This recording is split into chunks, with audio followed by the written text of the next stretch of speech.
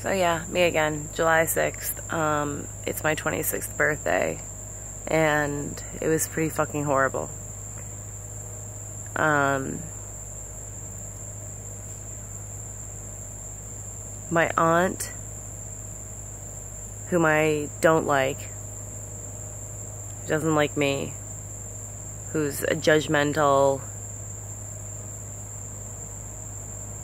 self indulgent, self righteous, holier than thou fucking cunt sent me a bullshit text that didn't mean shit. I don't even know how she got my fucking phone number because I swear to God, I don't even want to talk to anyone on that side of the family.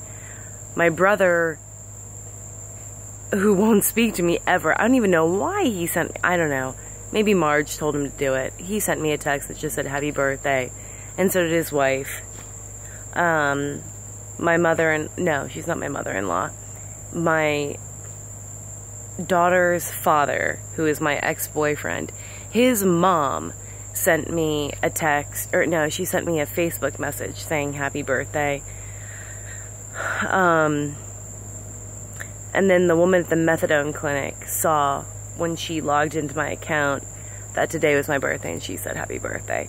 And that was it. Um, I begged Mike, my daughter's father, not to waste his fucking money. I'm sorry, not his money, his parents' fucking money on any worthless bullshit. Stupid mall crap on me. I begged everyone just to leave me alone today and act like it was any other goddamn fucking Wednesday. But no, they couldn't even do that. And it's not because they want me to feel good, it's because they're gonna feel like shit if they don't do something.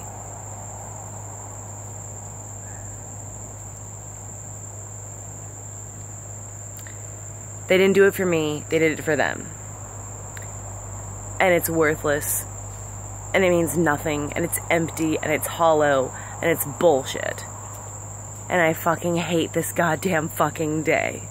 The only good thing that happened today was that I was allowed to sleep in.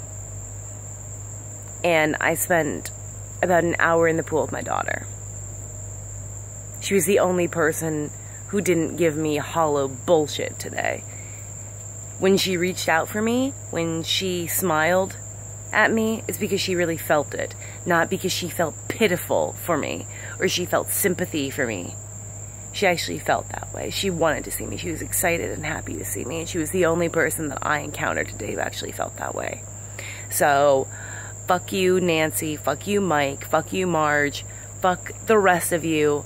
I don't give a fuck how you feel and how it makes you feel better that, oh, you bought me some worthless shit that I'm never even gonna fucking use. Congratulations. I'm so glad that I helped you feel better about yourselves today. Don't speak to me. Any of you. I obviously don't mean anything to you, so why should you mean anything to me? Happy birthday, Kat.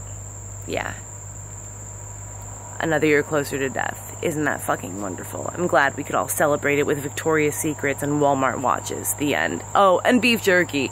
Thanks a lot. That's what I need. More calories. Good night.